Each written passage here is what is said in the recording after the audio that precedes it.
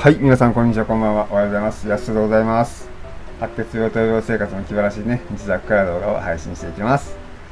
はい、あの、現在、デブです。まあ、今日はなぜデブになってるかっていうのをお話しします。原因はね、3つあります。1つ目は食べ過ぎです。ご飯が美味しいんですよ。進むんです。で2つ目はね、甘いコーヒーを飲みすぎてた。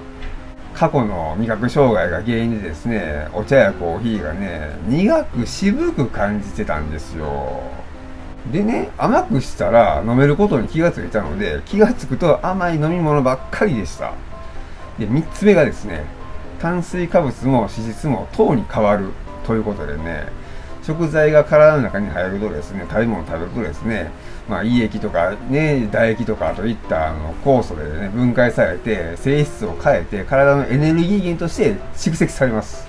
それの多くは糖に変わります。そしてその糖がね、非常に蓄積されやすく消費されにくいんです。これら3つがですね、原因で、現在デブです。病院側からは、今は運動は望ましくないから仕方ないよね。免疫抑制剤飲んでるし、とね、まあ、優しいことを言い回しをね、してくれるんですけども、甘やしかしてくれるんですけども、まあ、それで調子乗るんですよね。いや、もうしゃあないです、これは、本当に。そうね、免疫抑制剤が少なくなって職場復帰できたら痩せていくから、とも言われてます。まあ、だから今はしゃあないけど、しかし、できることをやりやともね、言われているので、ちょっと混乱してます。病気をされた方で、ついつい太ってしまう人は多いと思います。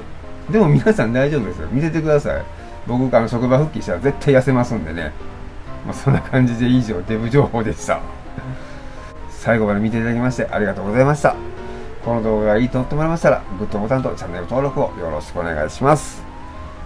そしてね、この動画、このチャンネルがよりたくさんの方に届きますことを願っております。本日もご視聴ありがとうございました。バイバイ。僕は元気です。